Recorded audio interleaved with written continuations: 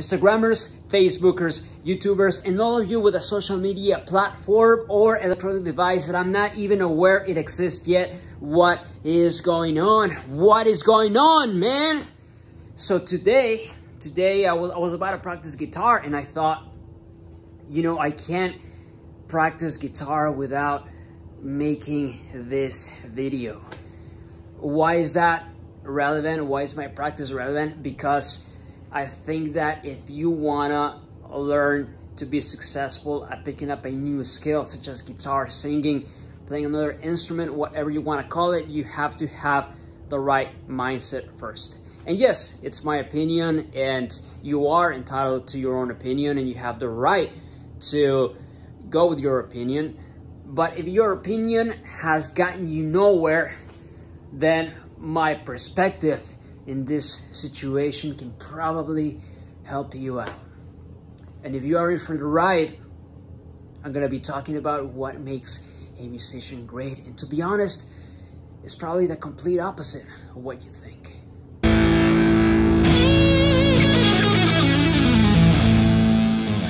What is going on? My name is Kevin and I help rockers and musicians unlock their ultimate creative power.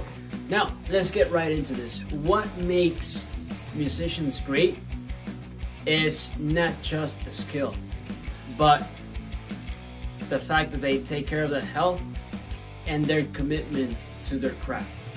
I know that looks like a you know no-brainer or you know you're probably surprised if you never heard about this but if you don't have these two things locked in place in my opinion then perhaps you won't be as successful as you could be and here is why. So when it comes to taking care of your health, you know, essentially comes down to your nutrition and your exercise. For your nutrition, I would say it is recommended to have a balanced, uh, balanced way of eating. So it comes down to like 27% protein, 27 to 30% fats, and um, the rest of a 30 something percent um, you should have your carbs in there. Your carbs are important. They do give you energy. And uh, most importantly, it is great to maintain whole foods in there. Now, with whole foods, what's good about it, it's the fact that they don't have any extra spices that you don't need. They don't have any other um, chemicals in there that you don't need because all of that, all of those of extra spices, extra you know chemicals, um, all of that extra stuff that is found on foods that are processed, what happens is they end up being too much for your body to digest. In turn, it's going to take more of your energy and it's going to make you feel uh, drained, like you want to sleep, rest, and you pretty much don't want to do anything. It's like it's like this. It's like if you go to a fast food restaurant, or you know, all of a sudden you go to a uh, you know, let's say you go out and then you have it like a big burger, right? Or uh, something that just has a lot of a lot of fat in it. Essentially, you know, you're hungry, you devour the damn thing like there's no tomorrow, and then after you're done digesting it, you end up feeling worn out, and all your energy is is pretty much gone, right? And what happened to that energy that you know that you had, or that you wanted to gain after you had your food. That energy went into digesting everything that you ate. Now, for exercise. Exercise is also another big important thing because with exercise, you know, obviously you're not able to lose unwanted weight or unwanted calories that you, that you don't need, but in turn, increases uh, increases your mental health, increases your um, increases your energy, right? It's something that is very, very essential for your body. And for this example, we are gonna look at Joan Jett. If you are a musician or if you wanna be a musician, you, I would suggest incorporating these things into your life because you know you're you're gonna be constantly creating art you're gonna be performing you're gonna be writing so your body and your mental health they need to be in the best state as possible. And Joan Jett herself, she's even an advocate for, uh, you know, for being a vegetarian. You know, vegetarian is a very healthy lifestyle with a lot of benefits. You know, she's also at the top of uh, at the top of her game You know, for her, fitness is very important. You know, when she's out touring and whenever she has the chance, you know, she takes those 10 minutes and incorporates push-ups or eight extra set of workout that may be able to work with her, right? Another example, we're gonna be taking a look at Jacky Vincent. If you don't know who Jacky Vincent is, he is the uh, lead guitarist for Cry Venom as well as his solo projects and was the uh, lead guitarist for Falling in Reverse. Now there is this clip of this interview where he talks about his most important aspect of his morning routine. Here it is. Plenty of time. Yeah, I just uh, I find a smoothie place. I make sure I get like my kale and my spinach and like all my like all my veggies and yeah, stuff. rock and roll. Yeah, and then um, then I'll find I'll try and find a gym and then I'll like get my workout in and then I'll I like I make myself read at least 15 minutes every day and just Okay. like, spend spend you know my my knowledge. Um, I'll say what I'm grateful for, and then I'll I'll meditate and you know do everything I can to positively positively enforce my life. So it's kind of the opposite of what some people might expect. What I like about this interview is the fact that he always says that he wants to get the most out of his day. He wants to be in the best mental state as possible for him to have a successful day.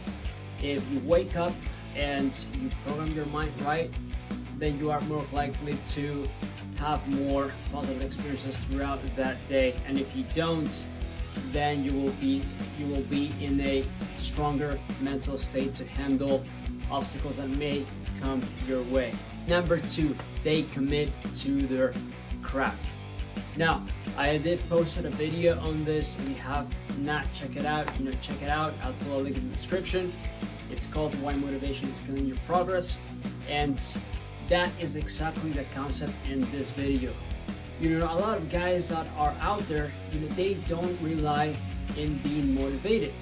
Because, you know, when you are in this point in your life where, you know, where you've had a couple of good hits, where, um, you know, you have a couple of successful projects that have worked, you know, obviously you understand that really this stuff doesn't happen overnight. It's trial and error, trial and error, trial and error. And let me just say that if this artist, right, or these people were to put themselves in the state of, you know, I just can't write anything now, inspiration is not coming to me, then, you know, they're honestly, they're gonna stay where they're at and they're not gonna be successful. A successful artist has to constantly challenge himself, right? As a musician, you know, you have to write and you have to play even when you don't feel like it. You have to practice in the times where you feel like you have to practice, and you have to practice in the times where you feel like you don't have to practice. Because creativity in itself is a muscle, is a muscle that has to be that has to be worked on, is a muscle that needs to get, you know, that needs to get bigger, it needs to grow, and it is a state of mind that constantly has to be um, reignited.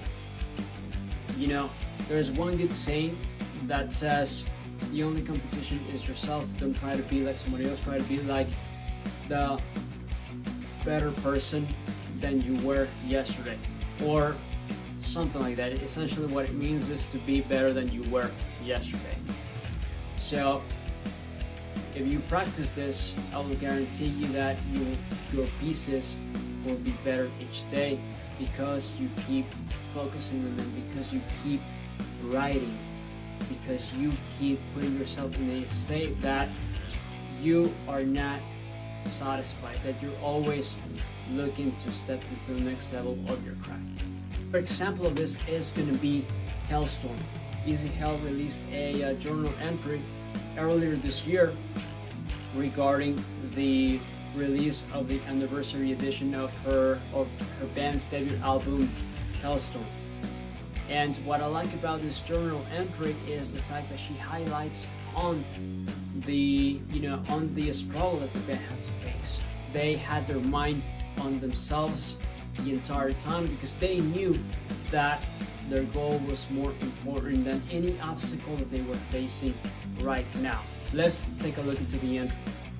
What our journey the last decade has been, I'm so proud to release this special 10th anniversary edition of our debut album. It feels like I've lived several lifetimes since then. So many milestones have been passed and so many dreams have come true. And we are still climbing. We are still outlasting and still so much in love with what we do. We fought to put out our debut. We fought to get it made. We fought to have it released. We fought for and against songs that were on the 60 plus song list. We lived through a fire, two earthquakes, a mudslide, our original A&R fired and rooming with each other for 19 months at the Oakwood apartments in Burbank, California. We were dirt poor and had to go to the dollar store for produce and food. I was constantly seeing repairs in all of our clothes. But through all of it, it was truly the best times. We were in it. We were doing it. This is what it takes to break a band. We had our mission statement. We were poised this was everything we had dreamed of since we were kids. See, you're motivated in that moment in time, but the rest of the line is is commitment. That's where it's at. You got value out of this, then check out Hidden Rock on Facebook, Instagram, and subscribe for more cool content later on. And as always, I give you a lot of love from my side of my phone screen to yours. This is your life. Own it.